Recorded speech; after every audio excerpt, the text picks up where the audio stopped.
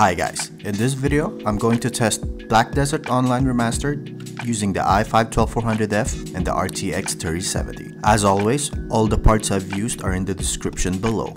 With that out of the way, let's get started.